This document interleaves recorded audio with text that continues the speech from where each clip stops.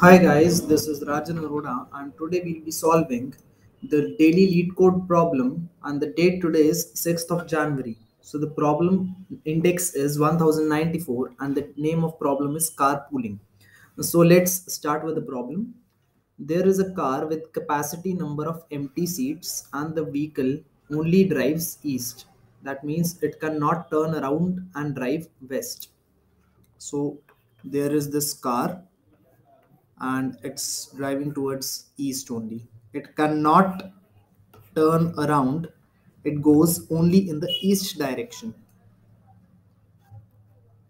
So you are given an integer capacity and an array trips where the ith trip means ith trip is actually a tuple of number of passengers and the starting uh, pickup destination and the drop destination indicates that the ith trip has num passengers and the locations to pick them up and drop them off from and to.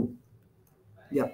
So i am given an array where each element is having number and pickup and drop location. Yeah. So uh, the locations are given as the number of kilometers due east from the car's initial location. Okay. So let's assume that the car is starting from zeroth point and it's it can be supposed as a number line where we are having the arrival and the uh, sorry pickup and the drop positions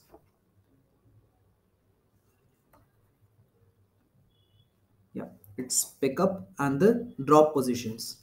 And for this pickup and the drop position we have number of passengers also. Yeah.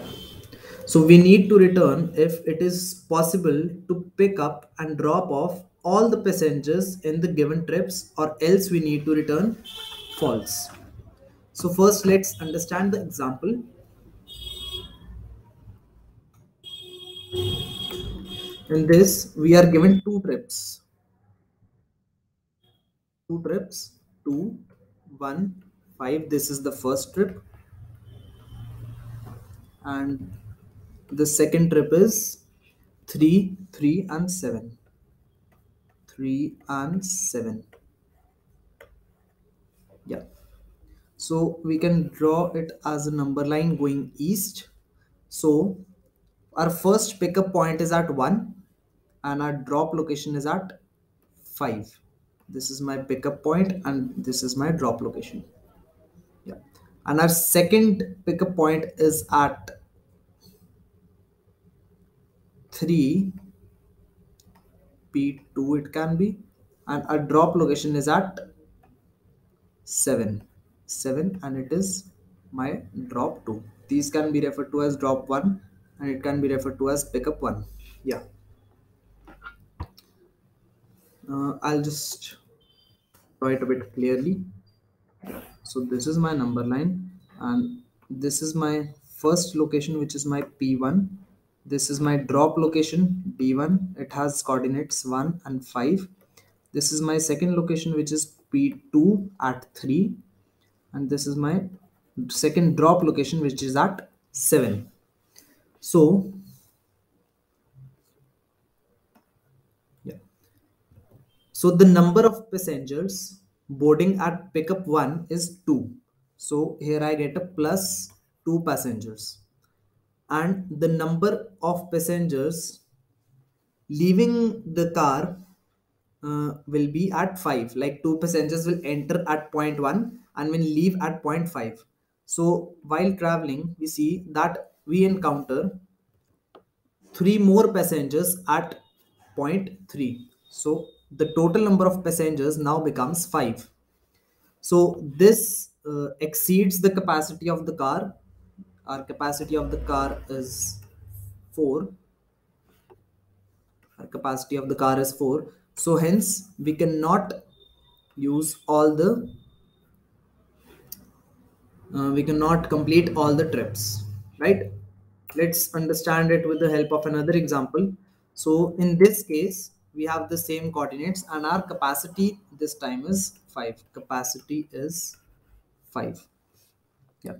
So our pickup point is at 1 which is 1 then our drop point is at 5 another pickup point is at 3 let's drop 1 and it's it's drop 1 and drop point is at 7 so uh, we get plus 2 passengers at p1 then we move forward. Then we get plus 3 passengers at p2 so the total number of passengers is now 5 which is already less than or equal to my capacity. Yeah. So at point number 5 which is my d1 uh, two of our passengers leave. So now the total number of passengers is 3 after that at point d2 the total number of passengers becomes 0 because all the passengers leave the car. So yes in this case in this case all trips have been completed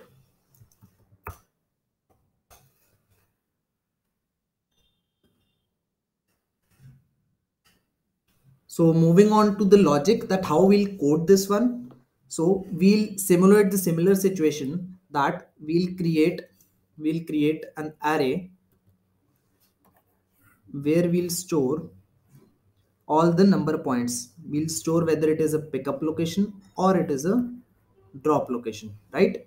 So for pickup, the number of persons entering the car will be plus 2 or maybe or the number of passengers given that means it will be positive right? And the at drop location we'll add minus 2 as the number of passengers. That means that if plus 2 are entering at p1 point then 2 passengers are leaving at d1 point right?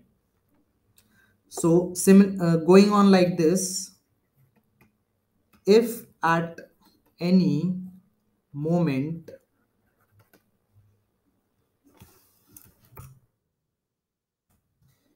the number of passengers becomes greater than my capacity. So I'll return. False.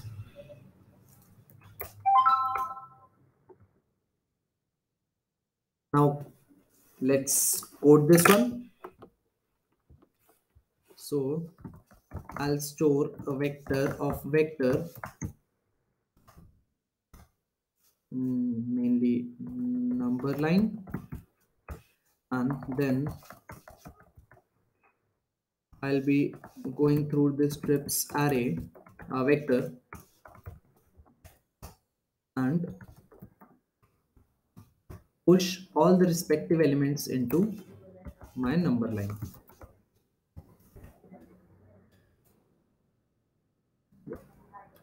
So i will start this according to the distance. So i'm taking my first element as the distance and my second element will be the number of passengers entering or leaving at a specific point.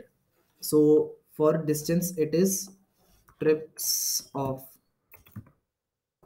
for ith trip it is my from point. That means number that the persons are entering from this point and the number of persons is at zeroth index and similarly I'll add the leaving point also.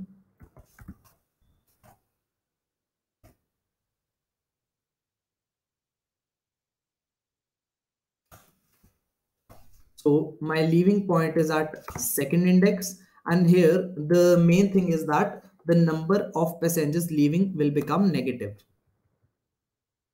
It's the number of passengers leaving. So that is why we have put it as negative. After that we just need to sort this number line array according to the given distance.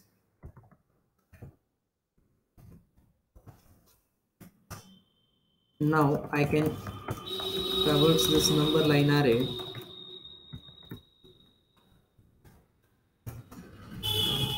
and check. We'll maintain current variable which shows that the num uh, which shows the number of passengers currently in the car. So if my current passengers plus my onboarding passengers my onboarding passengers will be number line at ith point and it will be at first index. Because the zeroth index is the distance right? It's greater than my capacity so I'll return false. Else I'll just add it to the car. I and if we have just completed this then we'll return true that we have completed all the trips.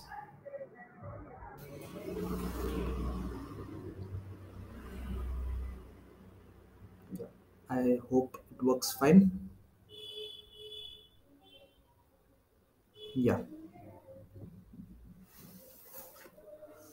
So this is what we had for today. Thank you so much and see you next time